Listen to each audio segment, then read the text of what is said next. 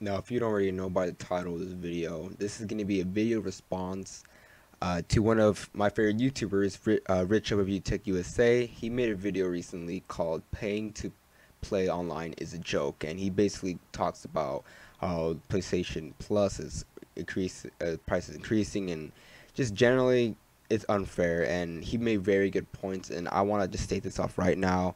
I totally agree with everything he says, but I did want to add on some stuff that he said. Uh, this video itself doesn't have to be a response video. I can just make an entire video about it just by myself, but I kind of like the baseline that he kind of set.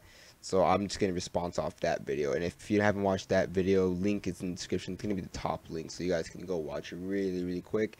Then come back here to get my response. Um, a couple points that he made that I really agreed with.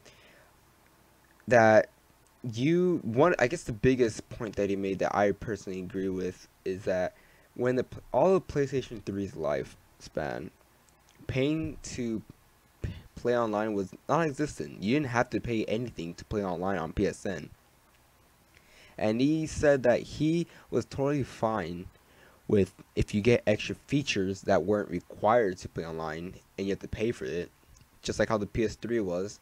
He's totally fine with it, and I'm totally fine with it. You know what I mean? You want to get free games, you want to get um, some free avatars, free this and that, free uh, free beta, early access to time trials, you know, all that stuff on PS3. That's fine. You know what I mean? But paying to play online, there is no reason for Sony to do that except for one, and I'll talk about it at the end of this video, so keep stay tuned.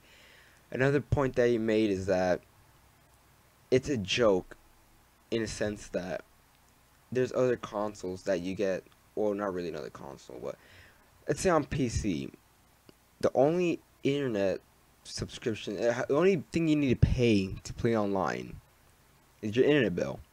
And from my experience and so many other people's experience is that it's the same or even better than playing on the PS3 or, or excuse me, the PS4 or the Xbox One. You get the same experience, the same quality, you know what I mean? You don't get that much uh, shutdowns, you know what I mean? Because it's really just based on your provider. Because you're not going to a very specific service, you're going to the game servers. So, if anything, it is better in a way, and you don't have to pay a dime to play online. And I know a lot of people aren't gonna believe me when I say this, especially they think I'm gonna be biased, but it's completely true. I don't I don't slander anything I say on this channel. Is um I've owned my Wii U for about two years now, and I have never experienced one like shutdown of their server. I have never played online, and then instantly I would be kicked out, and I would not be able to sign back in for days. I have never experienced that. And again, people will think I'm just gonna say that just because I'm biased, but that is the truth nothing but. I have never been not able to sign into Nintendo Network. I have never been hacked. I've never been DDoS. None of that stuff has ever happened to me. Every time I sign in, I'm stay signed in, and no problem at all. Same thing with PC. And the point I'm making is that if you play on PS4 and Xbox One, again, I'm not hating on those consoles. I really love those consoles. I really want to get an Xbox One, actually. Their servers are always getting DDoS. I think recently the Blizzard servers were out again. Um, the Halo servers are like almost always out. You know what I mean? And they hide behind this idea of better experience, this better quality of gameplay, and that quality is non-existent. It's it's non-existent. You're not getting anything better. You're not getting this and that. You're getting a worse experience. Uh, another point that I want to make up make up for his video that he did he actually didn't mention it and I really wish he did was the point like how would the developers feel? How would the developers feel about this uh, price jump? Um, think about it. Let's let's put this in perspective. Let's make an example.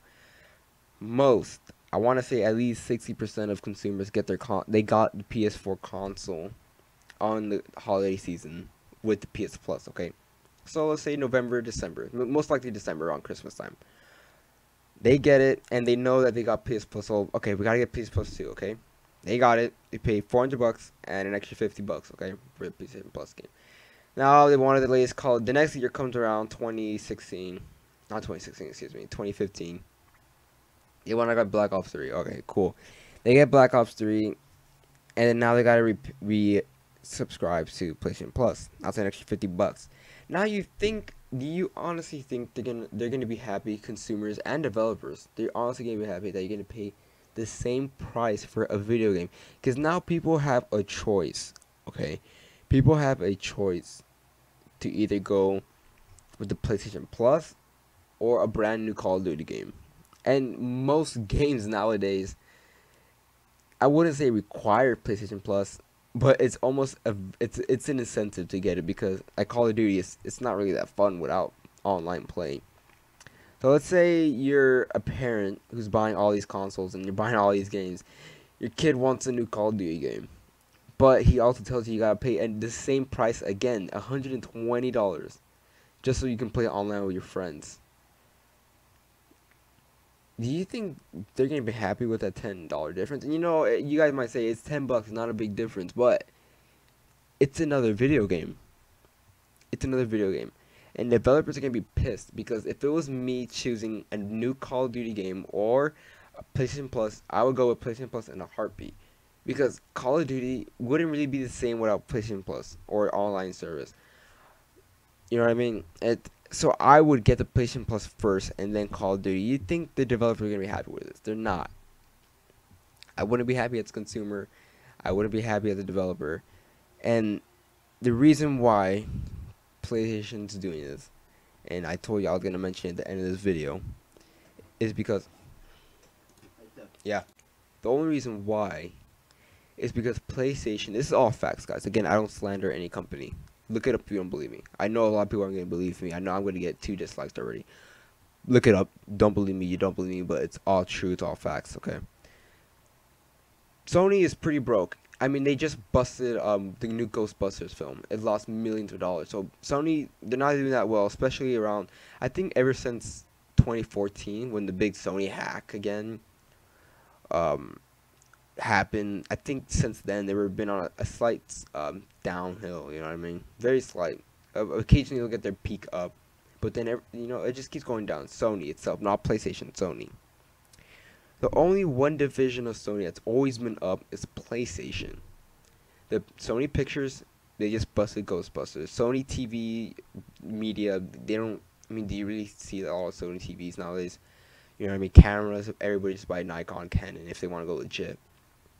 And the only thing really keeping them afloat is PlayStation. Look it up if you don't believe me.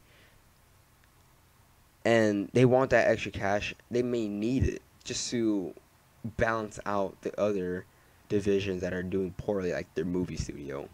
Honestly, I think they should sell out their studio in general because they're just doing terrible. But that's the reason why.